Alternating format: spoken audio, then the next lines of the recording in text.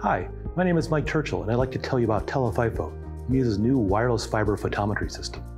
It's our newest way to track calcium and neurotransmitter transients, and it works in real time in freely moving animals. It's easy to use, easy to process your data, and it's ready to go right out of the box. Fiber photometry is one of the newest tools available to neuroscientists who wish to correlate behavior with neural activity. It's a powerful, ultra-fast technique used to measure calcium, neurotransmitters, and other molecules in vivo in real time. But until now, the technique has required a connection, a fiber optic cable connecting the research animal to the rest of the optical hardware outside of the cage. This cable limits animals' freedom of movement and social interactions. It can also make your data noisier. This in turn can limit the design of your experiments. But now, fiber photometry has cut the cord with TeleFipho. With TeleFipho, all of the optical hardware, light source, optical filters, and photodetector are combined in a small head stage. The rechargeable head stage communicates by radio with a base station.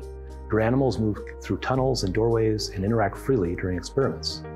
TeleFipho can also improve video tracking. Tracking software often confuses a swaying cable with a mouse that is still moving. This can complicate scoring of freezing behavior during fear conditioning.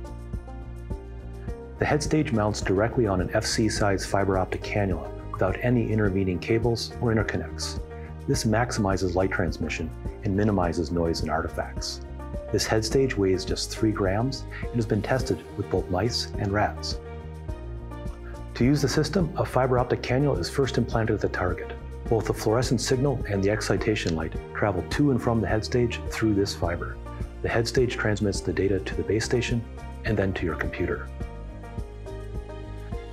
TeleFipho data is also easy to work with. Removing the cable means removing the motion artifacts caused by rotary joints and long flexible waveguides, so you won't have to process your data to correct for them. TeleFipho software provides a real-time view of the data allowing you to quickly optimize light levels and detection sensitivity.